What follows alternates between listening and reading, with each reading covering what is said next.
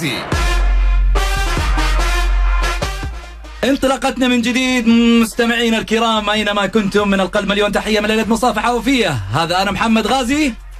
وأنا جابر العميري أرحب فيكم في حلقة جديدة من برنامج المنصة وأيضا موسيقى الحماسي جديدة. بالستايل الحماسي. طرف طرف الليلة. طبعا آه، موسيقى جديدة وأيضا في أشياء كثير جديدة عندنا في ال- الحلقة. أكيد. وأحداث رياضية مستمرة مثل كل يوم. طبعا أكيد جابر آه، كالعادة وإحنا معودين الجمهور اللي يتابعنا إنه دائما آه، حلقة المنصة فيها كثير من القصص. واكيد إحنا اليوم بدينا بستايل جديد طبعا يا جماعة كذا ال- ال- الصورة الجديدة أو الصوت الجديد اللي تسمعوه كذا للبرنامج. يبغى لهم فترة هذا كذا. أيوه معلش عشان تتعودوا عليه وكذا بس هذا طبعا على ما يقولوا بعد اقتراحات ومناوشات. أنا وجابر ومع معاركات لا ده ما ينفع لا ده ينفع ده إن شاء الله طلعنا. بشيء يعجبهم بإذن الله وشيء آه، يرضي المستمعين. أهم شيء عندنا أكيد. المستمعين آه، مستمعين ألف ألف وبالتحديد أيضا مستمعين برنامج المنصة. وإحنا من هنا منهم وإليهم. أكيد. أكيد. خلينا نذكر بأرقام التواصل. جابر؟ نذكر بأرقام التواصل 01 2 61 61 100 صفر واحد واحد اثنين واحد سبعة ثمانية خمسة ثمانية خمسة. أكيد حنستقبل اتصالاتكم مع آه، سير الحلقة. ولكن خلونا أول شيء أنا وجابر آه، جابر اليوم إيش التفاصيل اللي تشوفها؟ والله عندنا تفاصيل ها؟ كثيرة وعندنا ضيف آه، جدا مهم وضيف آه، ما نبغى نفسح عنه كذا لين بعد العناوين. إيه خليها بعد. العناوين. حنفسح عن ضيف ثقيل. ضيف ثقيل وقدير. ثق- ثقيل على الدوري كمان. طبعا. ها؟ ثقيل على الدوري. أكيد. نروح آه، عناوين؟ أه نروح للعناوين. ولا تبغانا على ما يقولوا في مواضيع لسه وخلي لا نروح عناوين؟ للعناوين و... وبعدين مواضيعنا مطولة. أكيد. ليلة طويلة. ثقيلة ما باليد حيلة. نروح عناوين. عناوين المنصة الاتحاد ينعش خزينة لجنة الانضباط ب 250 ألف وغدا يواجه النصر. الثلاثاء والأربعاء أسود الجزيرة في لقاءات آسيوية. من الغد. قائمة المنتخب تشعل الجدل في الشارع السعودي والإعلام يسأل وين رويل التعاون وعواجل الوحدة؟ يا مارفك ما تشوف الدوري؟ المنتخب السعودي يلعب مع ماليزيا 24 مارس يلعب مع الإمارات 29 مارس. ورقصني يا جدع.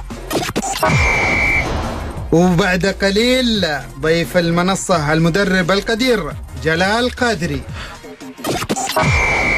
حكم مباراة الاتحاد والوحدة. والله حرام. عشان كورة تدعون على طفلة المشلولة تقل لا.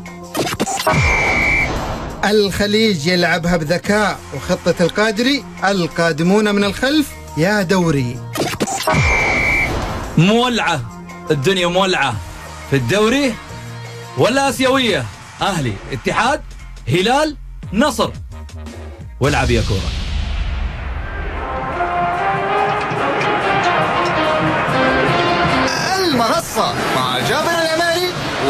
ومحمد غازي.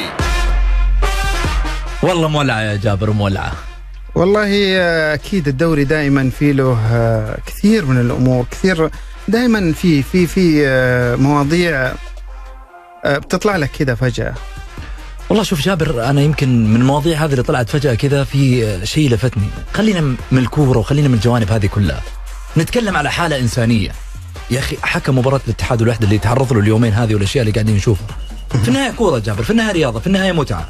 طبعا آه أخطيت معاك في خطأ سويت عملت فعلت.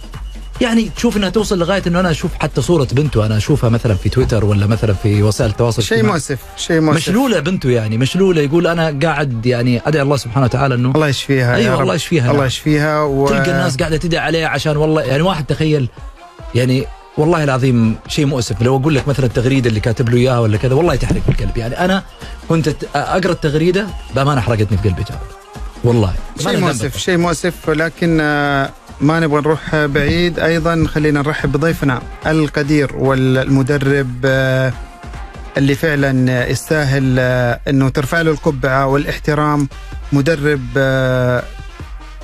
الخليج المدرب جلال قادري. مساء الخير. النور وبارك الله فيك على التقديم. إن شاء الله ضيف خفيف الظل عليك وعلى كل المستمعين. وسعيد كوني نكون معكم.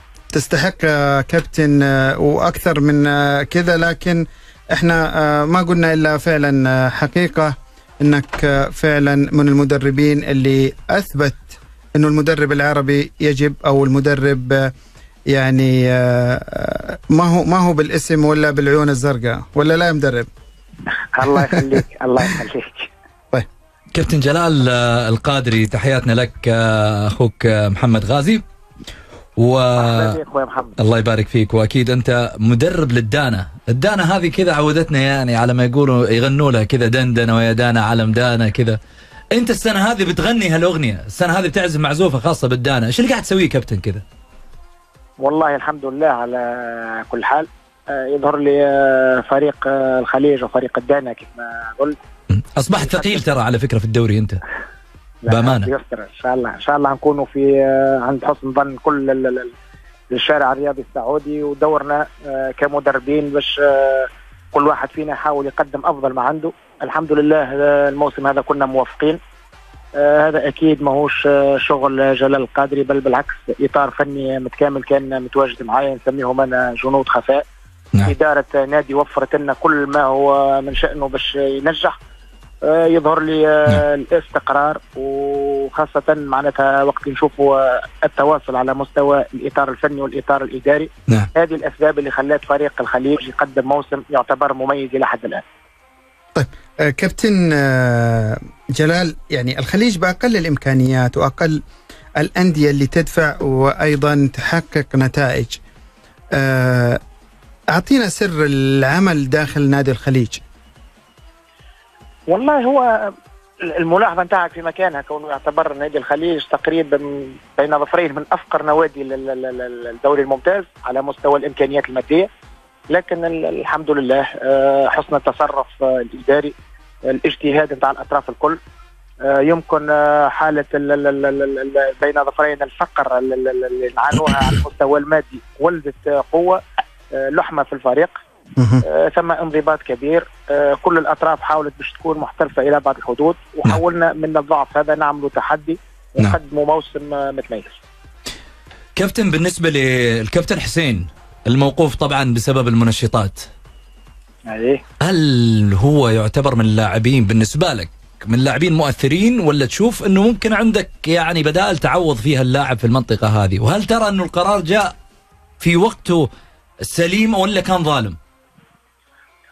آه خليني نحكي على الكابتن حسين. هو يعني سبحان الله عبارة على تحكي على الكابتن مع فارق ال- ال- الإمكانيات أكيد والتاريخ لكن كقيمة معنوية وقيمة فنية عبارة نفس الشيء اللي حصل لل- للكابتن محمد نور في الاتحاد. نعرفوا قيمته آه، في نادي الاتحاد. نفس الشيء بالنسبة لحسين آه، تركي. بقطع النظر على الجانب ال- الفني يبقى لاعب مؤثر ومهم بالنسبة لنا. لكن حضوره من الناحية المعنوية هو كابتن الفريق هو إنسان آه، متخلق إلى أبعد الحدود آه، كانت صدمة بأتم معنى الكلمة بالنسبة لنا. آه، تأسفنا بدرجة أولى على الفريق لكن أهم من هذا هو حابين اللاعب نعرف حسين تركي ربما في نهاية مسيرته. ما حبيناش النهايه تكون بالطريقة هذه. إن شاء الله ربي يكون في عونه أهم شيء. آه، كابتن آه، خليني أرجع آه، ذكريات آه، الكابتن جلال القادري آه، الكابتن جلال القادري آه، يعني صعد بفرق كثيرة في آه، دوري الدرجة الأولى ولكن مع الخليج طبعا له سنوات ال- البعض يقول ربما يعني قاب قوسين الكابتن جلال القادري إنه ممكن يحقق ما حققه المواطن أو مواطن ال- الجلال القادري آه، جبال آه، فتح الجبال. نعم. السؤال آه، أنت لك سنوات طبعا في الدوري آه، يعني ما تخاف إنه ممكن بعض الفرق تحفظ طريقة آه، الكابتن جلال القادري ما شوف راهو هذا عكس. ما هي يتوقعوا البعض. ما تماش طريقة جلال القادري أو طريقة آه، معناتها أي مدرب. آه، المدرب الذكي حسب اعتقادي هو اللي يتأقلم مع الظروف اللي هو موجود فيها مع إمكانيات اللاعبين تاعو آه، جلال القادري اليوم آه، توضع في فريق نادي الخليج بمواصفات معينة عندنا لاعبين عندهم إمكانيات فنية آه، تفرض علينا باش نعتمدوا آه، طريقه معينة. هي تعتمد على السرعة السرعة يمكن لهنا ما زالت ال- بعض ال- ال- ال- النقاد أو المحللين يمكن الثقافة الكروية آه، تنظر كونه الفريق اللي يلعب آه، كتلة ويلعب على هجمات آه، سريعة كونه فريق إحنا نشوفه في آه، فريق أتلتيكو مدريد أحرز الدوري في الدوري الإسباني بالطريقة نفسها. الفريق ليستر سيتي السنة هذه في البريمير ليج شوف النتائج اللي حققها. يعني هذا نعتبره ذكاء من المدرب. آه، لو جلال القادري تتاح له الفرصة باش يدرب في فريق كما الأهلي أو الهلال أو الاتحاد فرق الكبرى أكيد طريقة العمل باش تختلف. أكيد أكيد باش يتأقلم مع نوعية اللاعبين الموجودين عنده هذا ال- الفرق. آه، كابتن آه، جلال يعني آه، هتان بهبري إيه وقع لنادي الشباب والموسم القادم ما هو مع الخليج. ما راح يكون مع الخليج. آه، ما تكلمت انت مع الإدارة؟ ممكن تكسبوا أو تظفروا بخدمات ال- الكابتن هتان بهبري؟ قبل كل شيء لازمني نهني ال- ال- الكابتن حسام بهبري آه، على ال- ال- العقد الجديد. هو إلى حد الآن يعتبر عقد معنوي أكثر منه رسمي حسب علمي. لكن آه، دوري كمدرب قبل ما نخمم آه، لازم نفكر في مصلحة اللاعب واللاعب هتام بهبري قدم معنا موسمين متميزين. لاعب بكل أمانة عنده إمكانيات فنية عالية جدا. آه، كان لنا إضافة نوعية في الفريق. اليوم هذا احتراف هتام بهبري قدم له نادي الشباب. إحنا كل ال- ال- ال- المسؤولين والإداريين في نادي الخليج يعرفوا قيمة هتام بهبري وأكيد أنا باش نكون أول إنسان ماذا بيا هتام بهبري يكون متواجد معنا لسنوات. لكن كيف ما حكيت لك آه، العرض اللي تقدم به نادي الشباب مستحيل من الناحية المادية الإمكانيات بتاع نادي الخليج تخليه يقدم عرض مماثل آه، وهذا عرض وطلب ومن حق ممتاز. بهبري باش يبحث على مستقبل. ممتاز. كابتن جلال آه، حنناقشك في أمور كثير وأكيد أنت مستمر معانا إن شاء الله بإذن الله الجزء الثاني من الحلقة. حناخذ فاصل. ونواصل. بس قبل الفاصل نبغاك تقول معنا كلمة كابتن. أي. نبغاك تقول من المنصة تبدأ القصة. من المنصة؟ تبدأ القصة. تبدأ القصة. أوكي. أنت القصة القصة كلها. الله يخليك. الله يحفظك. نروح فاصل جابر؟ نروح فاصل نروح فاصل. قصير ونرجع. أكيد.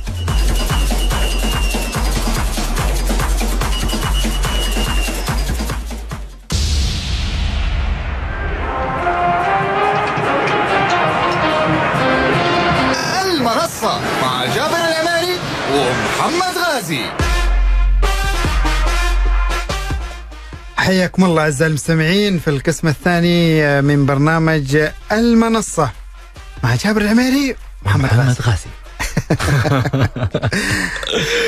محمد طبعا خلينا نذكر أعزائي المستمعين بالأرقام التالية 012 61 61 100 صفر واحد واحد اثنين واحد سبعة خمسة وثمانين خمسة وثمانين. وأيضا نرحب بضيفنا القدير الكابتن جلال قادري حياك الله كابتن. الله يحييك ربي يخليك. آه كابتن يعني آه وين وين طموحكم أنتم كخليجيين؟ أو آه انت كمدرب كإدارة أكيد جلستوا من بداية الموسم وأيضا في وسط الموسم وأيضا حتى الآن فترة التوقف. آه إيش راح يكون هناك معسكر؟ آه إيش تخطيطكم بعد التوقف؟ آه أكيد طبعا أنتم آه تطمحون للنقاط ال- المتبقية لكن آه أعطينا إيش ال- ال- ال- البروجرام اللي راح ي- يصير للخليج؟ والله من بداية الموسم الأهداف تاعنا كانت واضحة كان آه، الموسم أنا أول ما حكيت مع إدارة النادي على أساس كونه على الأقل لمدة ثلاث مواسم الهدف الأول نتاع نادي الخليج بعد ابتعاده على الدوري الممتاز هو ضمان البقاء. آه، إحنا الموسم الفارط آه، كنا حققنا تقريبا في نهاية الموسم 29 آه، مهم. نقطة كملنا موسمنا على المركز الثامن. اليوم آه، لسه فاضل ستة جولات وصلنا ل 26 نقطة يعني نفس الرصيد من النقاط. وإحنا في المركز السادس. يظهر لي هذا في حد ذاته يعتبر إنجاز. فريق آه، قدم موسم آه، كما حكينا ممتاز. حاولوا في بقية الجولات. هو تقدم أكثر ما يمكن في سلم الترتيب. تحقيق أكثر عدد ممكن من النقاط. نعم. ولما لا الطموح لمركز آه، يكون أفضل من المركز اللي إحنا فيه. نعم. هذا تقريب اجمالا. بالنسبة لفترة آه، التوقف إحنا عندنا يوم آه، 18 الأسبوع القادم مباراة في كأس الملك مع نادي ال- ال- المجزل. نعم. ثم باش يكون راحة بثلاث أيام. بعدها يتخللها برنامج آه، عمل داخلي باش يكون لهنا في المنطقة الشرقية. ما باش نتحولوا إلى معسكر نعم. كابتن آه، جلال حنطلع من إطار الخليج وحنروح آه، لإطار آخر وهو موضوع. مثير للشارع السعودي بصفة عامة الشارع الرياضي بأكمله. عن حديث عن مارفك مدرب المنتخب السعودي وما قام به من آه، اتخاذ قائمة. طبعا مكونة من 25 لاعب فيها الأسماء التالية ياسر مسليم خالد شراحيلي عساف القرني. الدفاع عندك طبعا أسامة هوساوي حسن معاذ عمر هوساوي عبد الله الزوري ياسر الشهراني ياسين حمزة معتز هوساوي محمد البريك. وأيضا خط الوسط تيسير الجاسم يحيى الشهري سلمان الفرج عبد الملك الخيبري سلمان المؤشر سالم الدوسري وليد باخشوين فهد المولد مصطفى بصاص حسين المقهوي عبد الفتاح عسيري وفي خط الهجوم محمد السلاوي ونايف هزازي وعبد الرحمن الغامدي. بأمانة كابتن شوف آه، أنا إلين خط الدفاع وقطع نفسي وجابر كمل الباقي. طيب. عشان أكون معك واقعي. التشكيلة هذه ما تقطع النفس. يعني هل بالله مو في بعض الأسماء مفترض ما كانت إنها موجودة في القائمة؟ أنت وجهة نظرك كمدرب إيش تقول عنها؟ شوف آه، أنا مش نكلمك بحكم خبرتي. كنت موجود في المنتخب التونسي ونعرف كيفاش تصير على مستوى الدعوات هذه القائمات آه، في طريقتين تعامل. نعم. في مدرب اللي يفكر آه، إدارة منتخب كإدارة نادي. يحاول باش يكون عنده مجموعة من اللاعبين نعم. آه عشان يصير ما بيناتهم التوليفة ويصير فيه أكثر ما يمكن من الاستقرار. حتى ولو بعض اللاعبين ينزل المستوى نتاعهم يحاول ما بين آه كل ما بين معسكر ومعسكر يخلي أكثر ما يمكن نفس القائمة. نعم. وثم مدربين التوجه نتاعو يكون كقائد للمنتخب آه الناخب. يسمى الناخب لأنه يجي في كل مباراة ياخذ أفضل لاعبين موجودين في الفترة هذيك. يتعامل باكثر واقعية. يعني اليوم أنا عندي مباراة أفضل لاعبين في الفترة هذه. ممتاز. بعد شهرين. عندي مباراة ناخذ أفضل لاعبين في الفترة القادمة بقطع النظر على مسألة التأقلم والتجدد.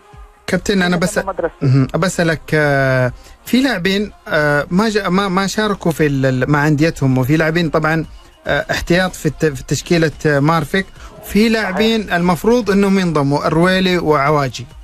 والتساؤلات كثيرة بين قوسين الرويلي وعواجي يعني من أفضل اللاعبين في الدوري السعودي. صحيح؟ ما هذه إحنا هنا نحكوا على الطريقة الثانية. يعني مدرب يشوف المستوى اللي ظهر به اللاعب ما شاء الله آه، آه، عبد المجيد الرويلي يقدم نعم. في مستويات مميزة جدا وشخصيا من الناحيه الفنية لاعب عنده إمكانيات عريضة ومن الظلم كونه ما يكونش متواجد في القائمة هذه. هذه كمبدأ أول. لكن المدرب أنا مش ندافع على المدرب بقدر ما نحاول نفسر للمستمعين للمشهد الرياضي آه، إيش طريقة تفكير المدرب يقول لك أنا إذا باش النادي عبد المجيد الرويلي مين راح يكون مكانه شترك مكانه لاعب كما تيسير الجاسم أو لاعب كما المقهوي لاعب آه، هذوما لاعبين اللي عندهم خبرة وفي نعم. فترة سابقة كانوا مميزين مع المنتخب وحققوا نتائج إيجابية حتى ولو يصير دروب قليل في المستوى تاعهم يفضل باش يكون نفس المجموعة. لأنه بدأ يشتغل معهم وما عندوش الوقت باش يعاود يدمج لاعبين جدد. الطريقة هذه صحيحة أو غير صحيحة. أه حسب اعتقادي النتيجة هي اللي أه ممكن نحكم بها على المدرب. اليوم المنتخب السعودي بالمقارنة مع سنوات كيف ما حكيت أنت أنا عندي ثلاثة أو أربع سنوات متابعه في المنتخب. يظهر لي هذه أفضل فترة للمنتخب. هو متصدر المجموعة نتاعو يحقق في نتائج إيجابية. عنده إمكانية باش يكون متصدر لكن يظهر لي المسؤولين أهم شيء بس المدرب مو قاعد مو قاعد يشوف في الدوري مو قاعد مو متواجد. لكن مم. هذا المدرب كي تحكي معي يقول لك أنا وقعت عقد والمسؤولين على توقيع العقد هم راضين بالأشياء هذه. ما نتصورش إذا المدرب في العقد نتاعه ما عندوش آه، بند قانوني يسمح له آه، آه، ما اثيرتش المشكلة هذه. هم يعرفوا من الأول المدرب جاب مع طاقم عمل فني وفرض باش يكون ماهوش متواجد في السعودية. مم. قبل توقيع العقد من المفروض مناقشة تقبل أو لا تقبل. صح. كابتن آه، خلينا نتكلم آه، في في في نقاط معينة. أنت من وجهة نظرك آه، المنتخب السعودي إلى أين مع مارفك؟ وإضافة إلى ذلك وجهة نظرك في الفرق السعودية من خلال البطولة الآسيوية إلى أين؟ ثلاثة محاور ممكن نتكلم فيها. الدوري تشوفه رايح لمين؟ والله بالنسبة للدوري صعب جدا. آه لأنه آه نشوفه في تنافس كبير. الأشياء اللي ربما في ثلاثة أو أربع مواسم الأخيرة كنا نشوفوا الفريق اللي يتصدر آه، من بداية الموسم. صعب جدا حتى ولو يصير دروب في مباراة اثنين. آه، شفنا النصر وقت اللي تقدم هو المنافسة كانت بينه بالاهلي وصلوا تقريبا ست سبع جولات الاخيره كل فريق يعمل فيهم يحقق في ست وسبع انتصارات. نعم. على طيلة الموسم كان فيه استقرار فني. الموسم هذا العكس. شفنا كل فريق في كل مباراة هو مهدد باش يفقد الصدارة. آه، كل فريق يضيع في نقاط مع فرق آه، اللي في وسط الترتيب وفرق في مؤخرة الترتيب. آه، مش الشيء هذا مش مقتصر على فريق. برك شفنا الأهلي ما ما يفوزش على التعاون نفس الشيء الهلال ينهزم مع التعاون الأهلي يعمل تعادل مع الخليج ثم الهلال يعمل تعادل مع الفتح. يعني الفرق اللي كانت متصدرة اليوم العدد نتاع النقاط وقاعده تضيع في نقاط مهمة جدا. هذا الشيء خلى الاتحاد يلحق بركب الترتيب ويولي منافس جدي. آه أنت ليك لو تتصور فريق التعاون يعني لو ما انهزمش مع الخليج في الجولة الخامسة وكان فاز على نجران خمسة نقاط راهو توا في المركز الثاني. يعني حتى حد ما كان يتصور للتعاون باش يعمل مسيرة آه كيف من هكا يعني تقارب المستوى وعدم ثبات الفرق. الصدارة على نفس المستوى يخلي حسب اعتقادي المجال مفتوح ولو أنه نتصور ما بين الهلال والأهلي أكثر شوية عندهم أكثر حظوظ من الاتحاد اللي عنده بعض المباريات الصعبه في نهاية الدوري. طيب آه كابتن جلال يعني أعرف تماما يعني آه وكل مدرب بيعمل حساب لكل الفرق سواء آه في المركز الأول أو في المركز الأخير لكن سؤالي آه جلال القادري يعني مين يخاف من الفرق اللي فعلا شايفها متطورة في خلال الدوري وممكن يعمل مفاجأة أمام جلال القادري؟ بدون تحفظ يا كابتن. أي لا ما هو بدون تحفظ ما هوش مسألة خوف لكن آه، ثم بعض الفرق اللي تعرف يما فريق كما الهلال لما يكون في يومه وتعرف عنده من الإمكانيات الفردية. لا أنا ما اتكلم أنا ما أتكلم عن الهلال الأهلي آه الاتحاد النصر. مستوانا إحنا آه، أتكلم عن الفرق اللي الآن مثل يعني آه، خلي خلينا نستثني التعاون والخليج الفرق المتبقية فريق نجران آه، رغم اللي إحنا فزنا عليه في ال- ال- الجولة الأخيرة يعتبر فريق متطور جدا آه، فريق آه، الوحدة نفس. الشيء عنده شهادته عمل تطور ممتاز وحسب اعتقادي يبقى فريق القادسية من أفضل فرق لكن يمكن عامل حظ ما يخدموش ما عرفش كيفاش يتصرف في الموسم نتاعو لكن على مستوى لاعبين. عنده إمكانيات ممتازة جدا لاعبين على مستوى عالي. ممتاز.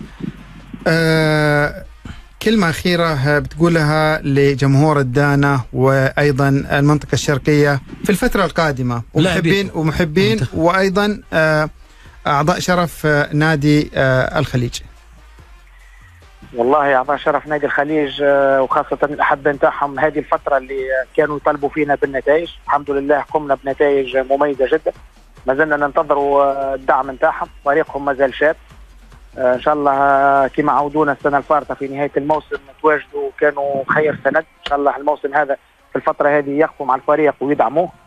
بالنسبة للمنطقة الشرقية كل ال- الفرق آه، نتمنى لها حظ آه، سعيد في بقية الدوري. ثم منافسة كبيرة آه، فريق القادسيه نتمنى الفريق كما فريق الاتفاق باش يرجع لمكانه الطبيعي ويتوج معناتها بالصعود.